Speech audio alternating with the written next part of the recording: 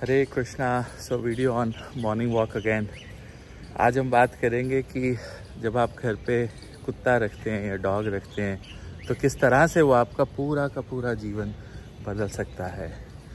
देखिए, कुछ नक्षत्र ऐसे हैं जिसमें अगर आपका जन्म हुआ है या कुछ लगन ऐसे हैं, जिनके लिए मेरी जो एक्सपीरियंस रहा बीस हज़ार से ज़्यादा कुंडलियों को देखने का, उनको विवेचन इनका करने का वहाँ पर उनको मिराकुलस रिजल्ट्स जो हैं, वो डॉग रखने के उनको मिले हैं।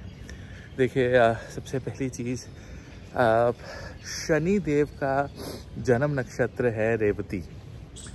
और रेवती नक्षत्र के अंदर अगर आपका जन्म हुआ है या रेवती नक्षत्र में आपका असेंडेंट है या केतु आपका रेवती नक्षत्र में है या शनि आपका रेवती नक्षत्र में है तो ऐसे सर्कमस्टांसिस में आपको डॉग रखना चाहिए। अगर आपका मकर लगन या एक्वेरियस कुंभ लगन है, शनि का कोई भी लगन अगर आपके जीवन में है तो आपको डेफिनेटली अपने घर पर डॉग रखना चाहिए because this will have ability to change and transform in transform your entire life देखिए रेवती नक्षत्र एक ऐसी एनर्जी लेके चलता है। बहुत पावरफुल है। शुक्र बहुत पावरफुल फील करते हैं रेवती में। और केतु के पास जो है एक संपूर्ण दिग्बल डायरेक्शनल स्ट्रेंथ हो जाती है।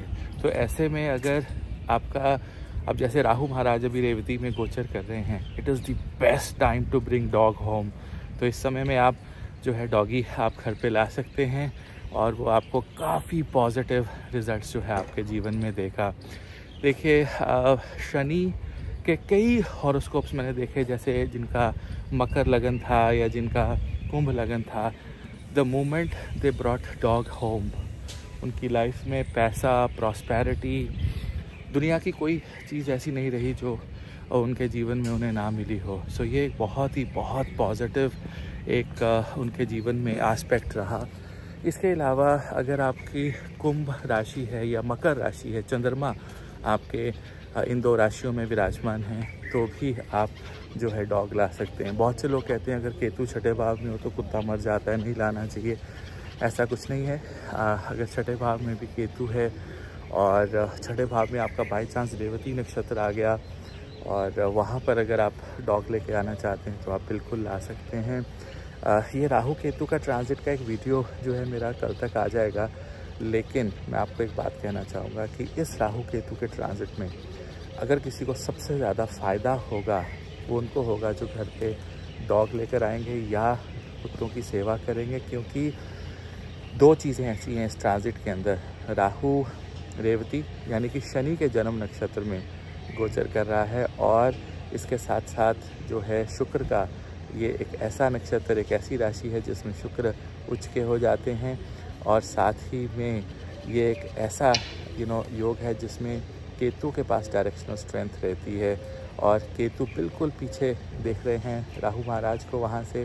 तो कहीं ना कहीं पर मुझे ये लगता है कि ये एक रेमेडी जो है और अगर आप मान लीजिए घर के सर्कमस्टांसिस ऐसे हैं, आप डॉग नहीं रख सकते हैं तो आप कुछ मत करिए, आप सेवा करिए। आप अब्रॉड में हैं तो डॉग सेंटर्स होते हैं बहुत सारे तो डॉग सेंटर्स में आप खाना भेजिए। मंगलवार और शनिवार के दिन Tuesday and Saturday is the day जब आपको जो है डॉग सेंटर्स पे या आपको खाना जो है डॉग यू नो किसी भी ऐसी जगह जहाँ पे आप डोनेट कर सकें आपको करना चाहिए। But if you are born in Revati नक्षत्र असेंडेंट इन रेवती नक्षत्र Shani लग्नस like Aquarius Capricorn Ketu in the 12th house or a major transit happening in Revati, right, you should bring dog and it is going to give you fantastic result. Take my words and I'm telling you from uh, the experience of more than 20,000 horoscopes. Till then, Hare Krishna.